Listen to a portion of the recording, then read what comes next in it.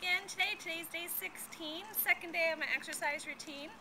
And it's not easy because it's almost about 90 degrees here today in Orange County. So I'm getting out there working out regardless. I am going to tackle this hill. This is a hill, if you look up, it's about a 90 degree angle up and even more down if you look down into the canyon. That's Laguna Canyon, heads right down to the beach, about five minutes from the beach, that's where we live.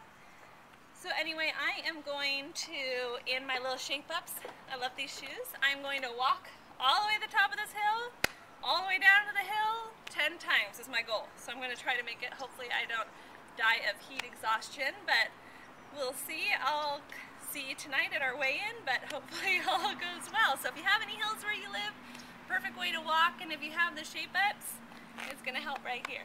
So anyway, see you later.